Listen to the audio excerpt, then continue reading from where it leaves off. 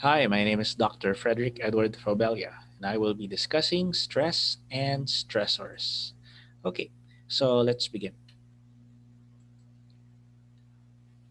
So, what is stress? So, there are different kinds of stress, but first, I'd like to discuss what is called the good type of stress. It is called eustress, Okay, stress can also be positive. Good stress can actually be beneficial to you Good stress can help with motivation, focus, and performance. For some people, it can also feel exciting. So, this is the kind of stress that is challenging. It's the kind that energizes you, that motivates you, that inspires you to test your limits. Okay? But uh, we are more interested in the bad kind. And the first type that I want to discuss is what is called acute stress.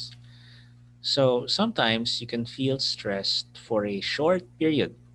Usually it's nothing to worry about, like when you need to hand in a project or you have to talk in front of a group of people. Okay? Maybe you feel something like butterflies in your stomach and the palms of your hands get sweaty.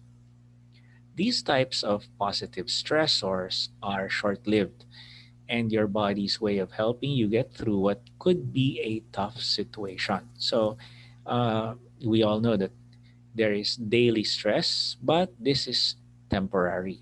Now, uh, what we have to avoid is allowing the acute stress to be prolonged, okay, because it can lead to what is called chronic stress. And chronic stress is harmful because it can lead to effects on our body, as well as effects on our mind.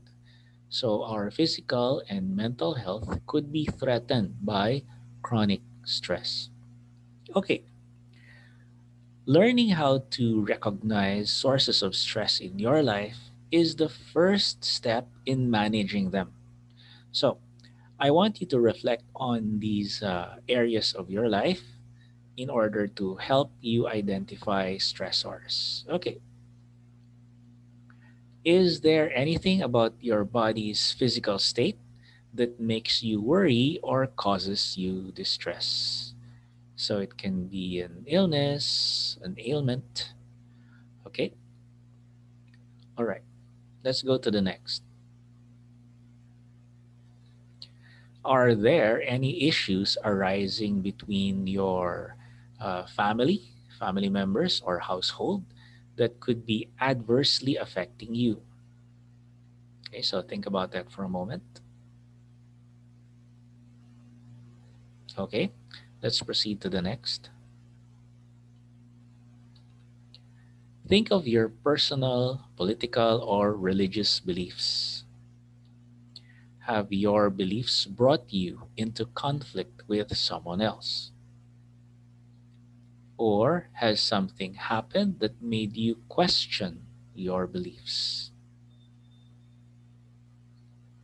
Okay, let's go to the next. Have you been recently having difficulty expressing your feelings?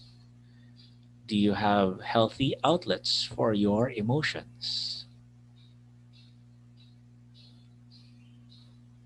Okay, let's go to the next. Are you currently experiencing any financial worries? Okay. Has there been any drastic changes in your life, such as a new job, new school, new residence, a broken relationship, or a tragic loss? Okay.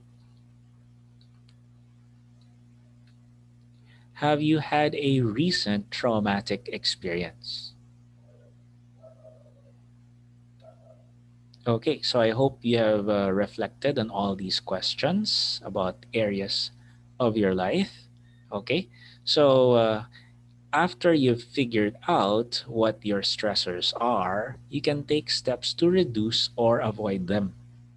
You can also adopt healthy lifestyle habits and strategies to manage the effects of stress. Of course, if you feel you're experiencing an unusual degree of distress or dysfunction, consider speaking to a professional in mental health. Okay, so that ends my discussion about stress and stressors. If you would like to stay updated with my upcoming lectures, please subscribe to my YouTube channel, Prof. Eric F., or you can also visit my blog, meaningsandperceptions.blogspot.com. Thank you very much.